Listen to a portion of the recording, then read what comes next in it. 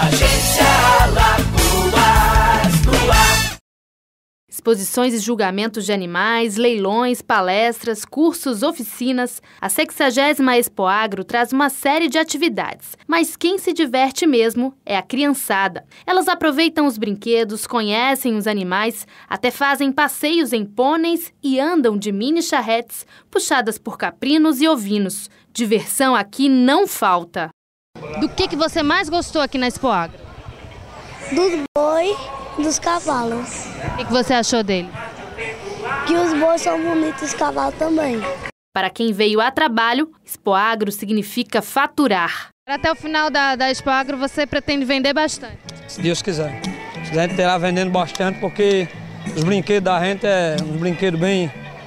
Assim, tem bastante, é, como é que se diz, coisa. Que é atrativo, né? E também de boa qualidade, né? Na abertura do evento, que ocorreu no último domingo, estiveram presentes representantes do governo do estado, a Associação dos Criadores de Alagoas, entre outros parceiros. Aqui a gente tem a expressão do que acontece na agricultura e na pecuária no estado.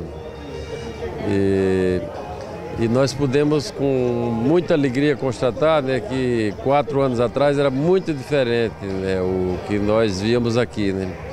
Na expressão dos, dos produtores rurais, é, e, e, na expressão da feira também, nos negócios que eram feitos aqui. Então, nesses quatro anos nós mudamos muita coisa, mudou muita coisa no estado de Alagoas.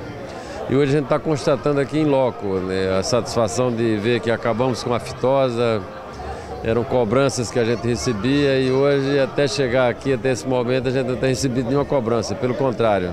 A Secretaria da Agricultura, que tem estande no evento, oferece todo o suporte à Expo Agro. A SEAGRE participa ativamente desse, desse, desse, evento.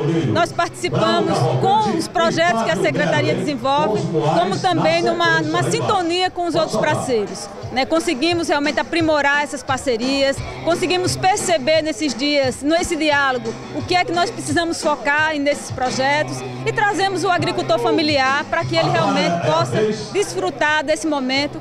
E também estamos trazendo, durante essa Expo Agro, diversas reuniões dos órgãos colegiados que fazem o monitoramento das políticas públicas, até para que eles consigam não somente deliberar sobre essas políticas, mas acompanhar o resultado de muitos projetos. De acordo com a organização, a expectativa de público até o próximo domingo, último dia do evento, é de 120 mil pessoas. Já de faturamento. A gente espera um crescimento de 20% é, em relação ao ano passado, atingindo aí algo em torno de 12 milhões de faturamento nos negócios diretos e nos negócios que são fechados pós-feira.